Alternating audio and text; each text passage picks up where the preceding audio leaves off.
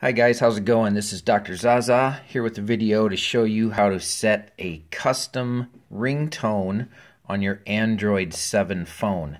This one happens to be a, uh, a Pixel. So first thing you need to do is save the MP3 file to your device. So let's go out to the internet, find the MP3 that we like. Alright, I've already kind of gone out and found the MP3 that I want on here. It's the uh, this one right here. So once I find the file, I'm just going to hold that and do a long press. There we go. And we're going to say download link. And you can see that downloading there, and that should be just about done. There we go. All right, so now our MP3 file is downloaded. How do we set it as a ringtone on our phone? Okay, so the first thing you need to do is you need to go and put it in the ringtones folder. It's going to automatically be placed in the downloads folder. So let's pull down from the top. We're going to go to settings and we're going to go to storage.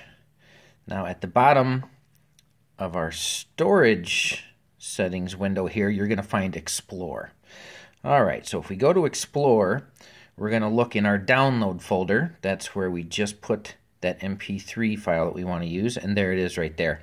Okay, so now what we need to do is we need to move this into the ringtone folder. So I'm going to do a long press to select it. I'm going to come over here to the uh, little three dot menu, and we're going to say Move To.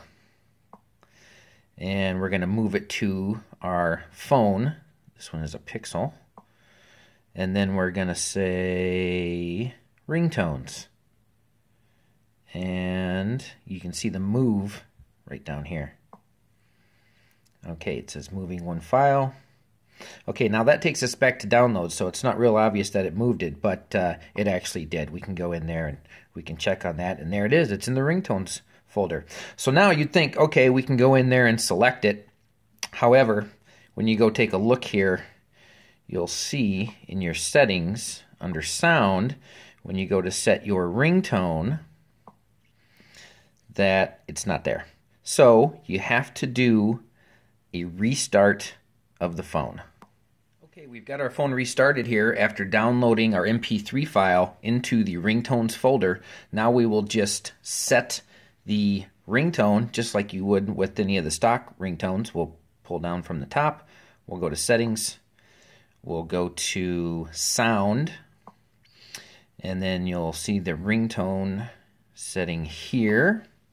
And there is the ringtone that we downloaded.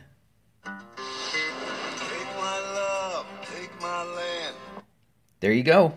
All right, pretty simple. Just put the MP3 file into the correct folder, restart the phone, and then it should be there. Now, note if you uh, restart the phone and go immediately there, um, it does take a few seconds for that to show up. So wait till your phone gets all the way restarted and give it a minute or so, and then go check that out, and then you'll be able to set your own custom ringtone.